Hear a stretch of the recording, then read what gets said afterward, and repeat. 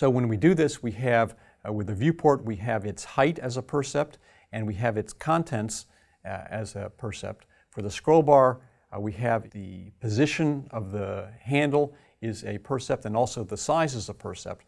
But we don't uh, currently have any percepts for the file manager. And in fact, the user doesn't directly see the file manager.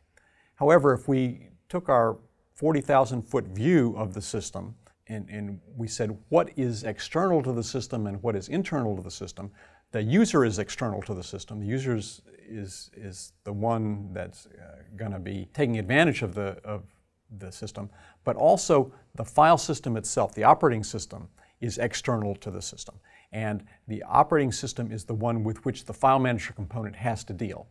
So we're going to treat the operating system as an external actor, and the uh, file manager is going to interact with that uh, external actor.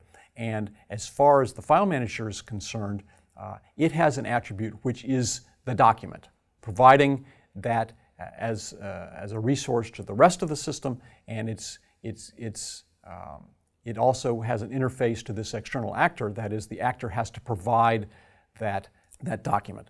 So we have an attribute there, which is the document, which is a sequence of, sequence of lines.